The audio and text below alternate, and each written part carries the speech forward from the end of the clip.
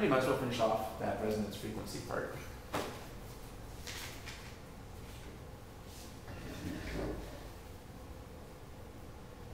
You said that.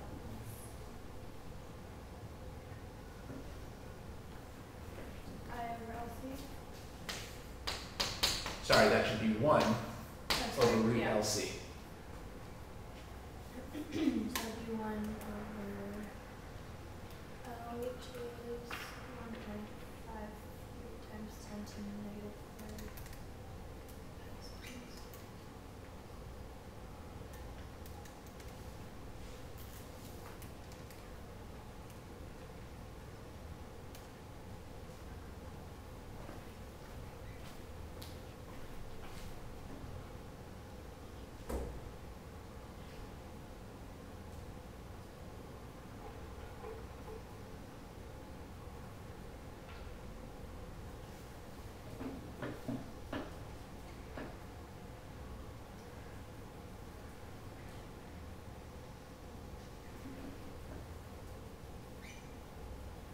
197 or 198, 197.8.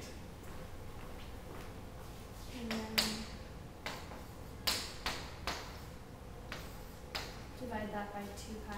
That's right, because they wanted the f, not the omega.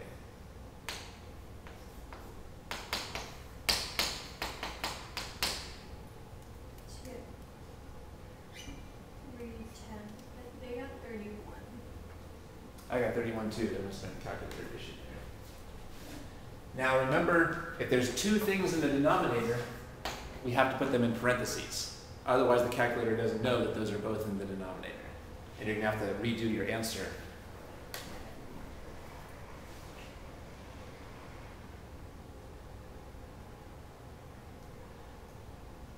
There we go.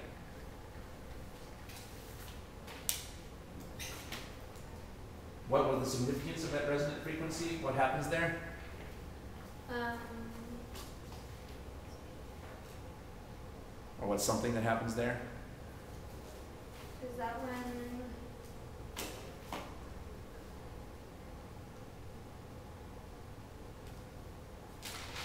That's when these two reactances Oh, are equal. equal. That's when the two reactances are equal. So by the way, is that a point where the impedance is very big or very small? Because these cancel out. That's the way to get the smallest possible impedance. Because there's no way this could be smaller than zero. So at the resonant frequency, we have the smallest possible impedance, which means do we have the biggest possible current or the smallest possible? The, we have the smallest impedance. And the biggest.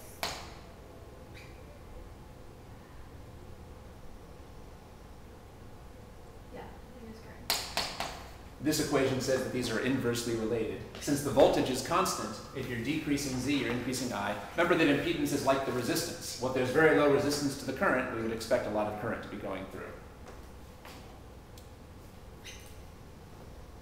I would definitely recommend just doing this whole problem again from scratch, because this problem actually involves a lot of the really key ideas for alternating current. And like I said, they made it easier than it had to be because they were giving us leading questions. You should try to just take the original given information and see if you can figure out everything about the circuit without all those leading questions.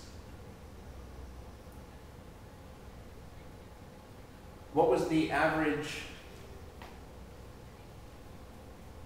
voltage across the capacitor? 36 volts. And what's the average current across the capacitor? 226. But remember, that doesn't mean they're, get, they're both reaching that average at the same time. Remember, there's lags. Uh, we know that in the capacitor, the voltage is lagging behind the current. So you don't let, let, this equation fool you into thinking that they're getting their averages at the same time. Even though we're plugging in the average current here and the average voltage here, those still would occur at different times in the cycle because the voltage lags behind the current. And that's true for the inductor as well. These videos are offered on a pay what you like basis. You can pay for the use of the videos at my website. There's a link to my website in the info box. The address is www.freelance-teacher.com slash videos.htm or you can just use the link in the info box. Thank you.